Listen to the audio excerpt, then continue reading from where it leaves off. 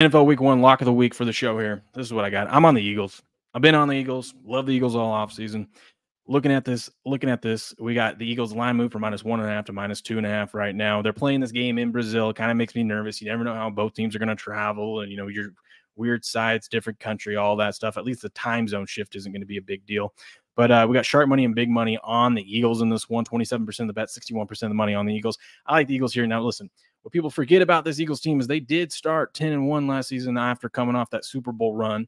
And uh, they just they, they stumbled down the stretch. It happens. And the worst kept secret that we found out um, this summer was Sirianni and Jalen Hurts don't like each other.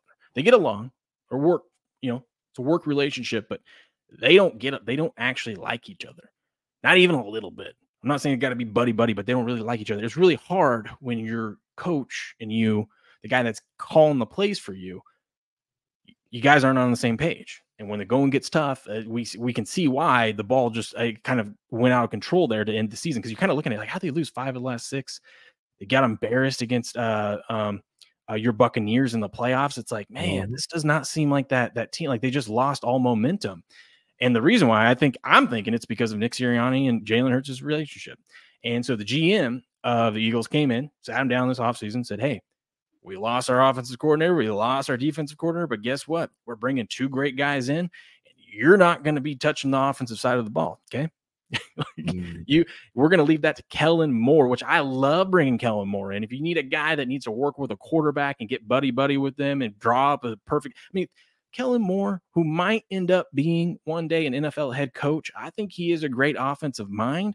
I think with all these weapons that they have, got AJ Brown there, uh, DeVonta Smith, and they just traded for that dude uh, for from the, uh, um, the the Commanders, right? And then you got Saquon Barkley in the back. I mean, this we'll see what happens. You know, people are nervous about you know Jason Kelce retiring. I think it's, I think he was he knew his body was like, mm, this might be it, but we'll see. Maybe like you said, it was the wife. But I like the, the Eagles here. I like the Eagles here. I think they're going to be able to be do just fine with all those weapons. And I think the one big thing too, people aren't counting out counting here is the uh, Eagles defense. They have all that young talent. It didn't really click last season. You bring in uh, Vic Fangio, Fangs, right? You bring him in. I think he's going to be able to have this defense. It might not be right at the beginning of the year, right? Usually you want your defense kind of humming towards the end of the season or in the middle of the season, kind of hitting their stride. But I think he's going to be able to work with this talented, talented young group of men here on this Eagles defense.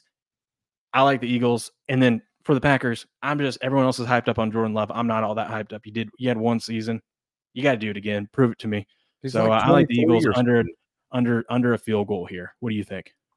Under a field goal. I've actually it's actually already moved out to three over on DraftKings, and the Eagles minus three right now at minus 102 there. So you know, I'm with you, man. I'm with you. We know this, you know, this team, like you said before, a lot of people have forgotten this team started out 10 and 1 last year.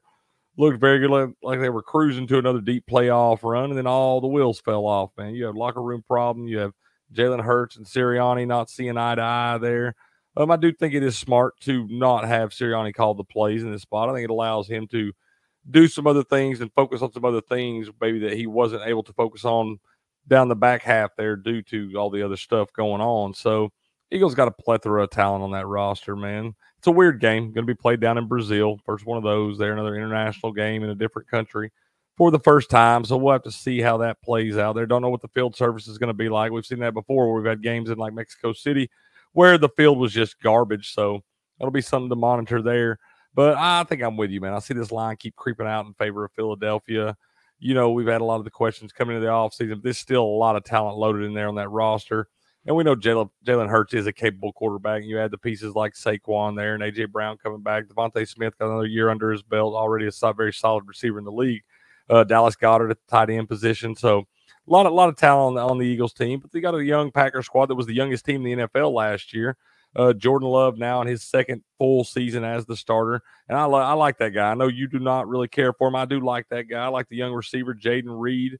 Um, so you got Romeo Doubs on that team. You traded for Josh Jacobs in the off season. So once again, a lot of talent on the Packers as well. So it's going to be an interesting game, and you'll get a good idea what these teams are going to have going forward in the season in this one. But then you throw the weird factors in with the Brazil game and all that. So I'm gonna monitor it a little close going into it, but I think I'm with you, man. I seeing that line move that way, somebody knows something. I think the Eagles might be a spot for Philadelphia.